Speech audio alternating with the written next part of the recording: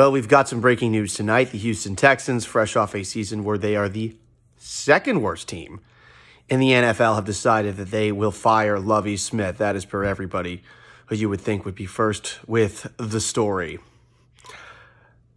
It's not that surprising because I think the Texans believed that they were going to be a lot better than they actually were this past season. I don't know what Lovie Smith really could have done with the talent on this roster. And I don't know if the Texans winning this last game and playing their way out of having the number one overall pick in the draft was a factor when it came to moving on from Lovie Smith. What I do know is that now the Texans go back to back years firing a head coach after just one season. Maybe Cal McNair, the Texans ownership group, thinks that this fan base likes to see heads on spikes.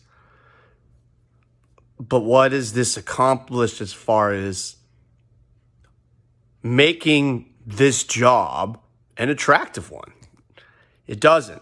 Back to back head coaches with one year and not a lot of talent on the roster gone.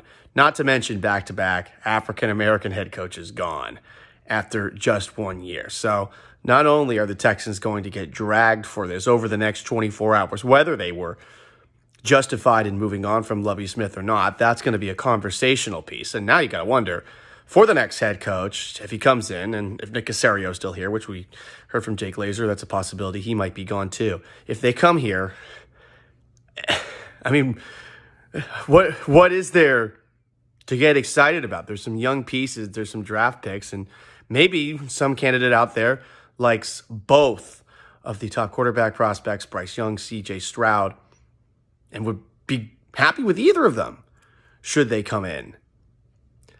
But it's just hard to imagine anyone of consequence taking this job on because they know how little security it has and how little talent the roster has.